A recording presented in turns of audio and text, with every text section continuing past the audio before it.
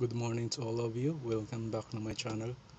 So, sa araw na ito, uh, magbabiyahe ulit tayo.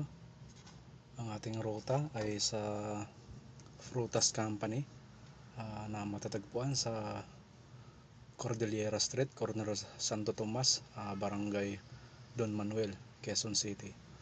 So, dito tayo manggagaling sa Barangay Talayan, Talayan Village, Quezon City. So ngayon guys, araw ng uh, Martes, February 1. So ngayon ang araw ng uh, Chinese New Year.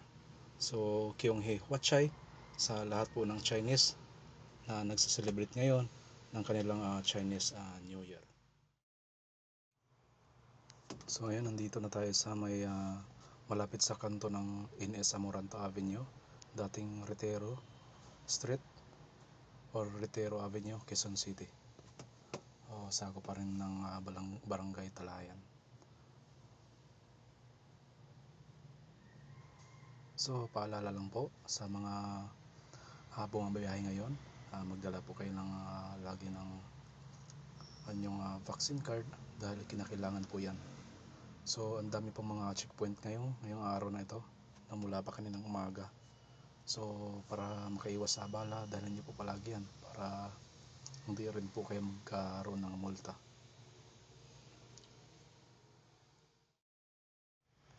So guys, we are now here in Araneta Avenue. So we're passing through. So we are now in Barangay Santo Domingo and Amoranto Avenue, Quezon City. So sa araw na ito, uh, medyo walang traffic. Medyo maluwag yung kalsada dahil uh, holiday ngayon. Uh, dahil nga uh, Chinese New Year.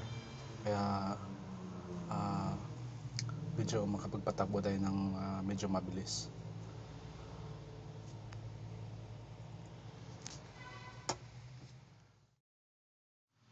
So guys, we need to turn left here yan ang Santo Domingo Avenue Barangay Santo Domingo uh, Quezon City. So this barangay I don't know what's the zip code. That's why I don't write the zip code here. So dito sa Santo Domingo napakaluwag pa rin ng kalsada dito. Um, kunti lang uh, dumadaan dito So itong Santo Domingo ito yung uh, madalas kong didadaan kapag uh, galing ako ng Barangay Manresa papuntang papuntang uh, Santa Mesa. Uh, dito ako dumadaan tapos uh, kaliwa ako sa may uh, sa may uh, Maria Clara dahil uh, medyo maluwag. Kapag araw na ito ang dinaanan, uh, medyo matraffic minsan. Kaya ito yung uh, option na kalsada.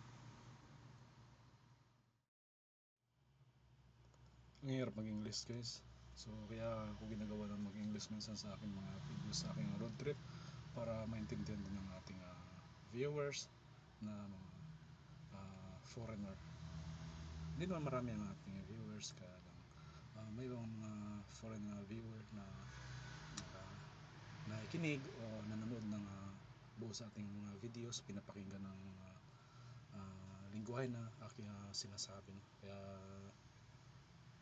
kaya minsan nag-i-English ako. Uh, medyo mahirap lang no? Medyo utal-utal din minsan. So guys we are now here in Cuenco Street Barangay Santo Domingo Avenue. Barangay Santo Domingo uh, Quezon City.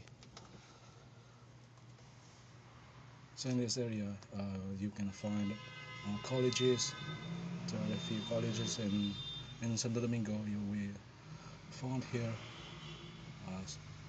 an old church, Santo Domingo Church.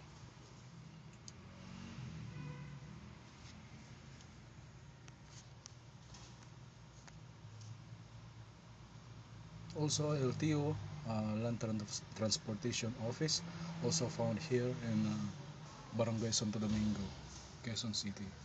You can register your motorcycle here and uh, you can renew your uh, driver's license here in Barangay Santo Domingo at LTO branch.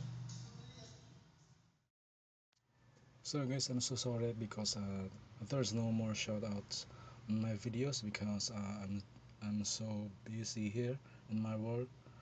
Uh, I, I have no time to uh, add and add shoutouts like uh, your channel uh, name uh, because I'm so busy.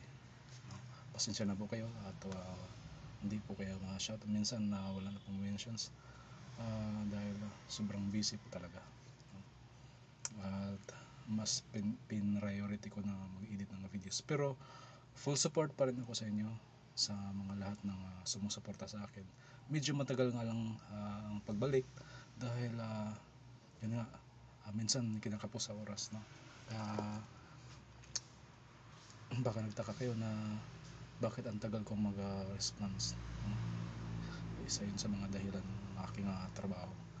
Dahil inuuna ko talaga yung uh, trabaho bago mag-YouTube. Pero full support pa rin ako sa inyong lahat.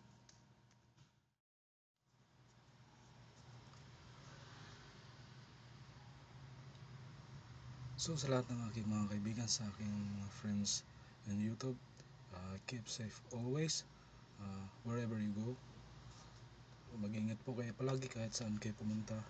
Uh, dahil uh, hindi pa rin tayo uh, totally safe ngayon dahil uh, meron pa daw uh, Delta variant at Omicron variant na uh, gumagala no?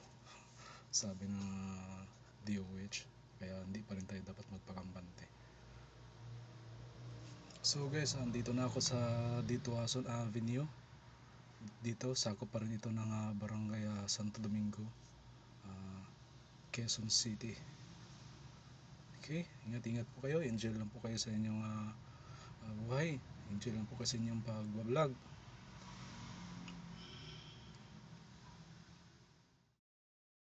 to my friends in the foreign, uh, especially my friends here, there in uh, Russia. You know who you are. I mentioned my friends in Thailand. You know how you are. My friends in uh, Belgium. My friends in uh, South Korea. My friends in Israel and America. My friends in uh, Europe so I have a lot of friends here in YouTube so shout out to all of you thank you so much for always support to my channel and thank you for, so much for uh, always viewing my videos so sa lahat ng mga kababayan ko uh, lahat ng mga OFW na uh, nagsusubscribe sa aming channel uh, shout out po sa inyong lahat lalong lalo na po sa mga kababayan ko na nandito sa Pilipinas shout out po sa inyong lahat So guys, andito na tayo sa A. Rodriguez Avenue. Tatawirin na natin to. So dito, bago tayo tumawid, uh, uh, Dunya Josefa. Pagtawid natin, uh, Don Manuel. Barangay Don Manuel. 1113 Quezon City.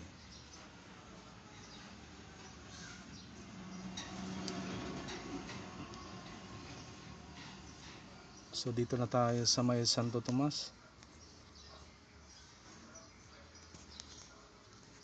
So ito pala ang aming pupuntahan ngayon, uh, Frotas Company, isa sa pinakamalaking uh, mala isa sa malaking kampanya na uh, nagbebenta ng mga prutas, no, sa iba't ibang mall.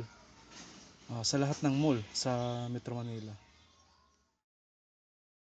So guys, bago mag-pandemic, ang daming tauhan ng Frutas Company. Pero pagdating ng pandemya, ayun, nagbabawas sila ng tao.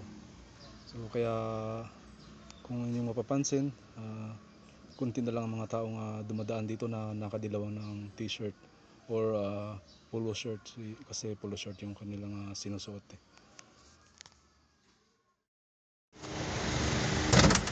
So yun guys, andito na tayo sa Frutas Company sa kanilang kitchen.